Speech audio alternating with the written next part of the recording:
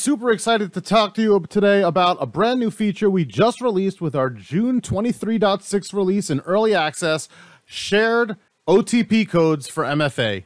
My name is Jared Brodsky, Principal Solutions Engineer here at CyberArk, and today we're going to walk you through how you can add an application, store that OTP code, and then share it out with a colleague.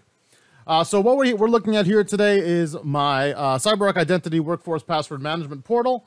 Uh, we're going to go ahead and work with GitHub today. So I'm going to go hit add. I'm going to choose application here.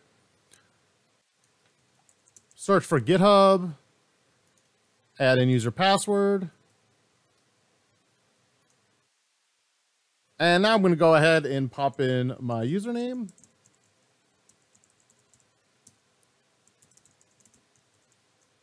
And now I need to grab that authentication key to turn on my OTP. So I'll switch over into my GitHub and we'll see that uh, I need the setup key, right? We're going to go ahead and copy this two-factor secret key from GitHub. Go back over into my application settings, paste that key in here, hit apply, and now we can see I have my OTP verification code waiting for me. So let's quickly copy that. Got to go back to GitHub and verify that that's the correct code. I'm to go OK. Let's go ahead and save that. All right let's go ahead, log out. Go back to sign back in, and now we can see the CyberArk Identity Workforce Password Management icon is waiting for us. Go ahead, click on the username, automatically log in, and now all I need to do to grab that OTP code, copy verification code, grab that from here, pop it in, and there you have it. We've just now not only created a new app, put a username and password in, stored an OTP code, and logged into a site in just a couple of steps.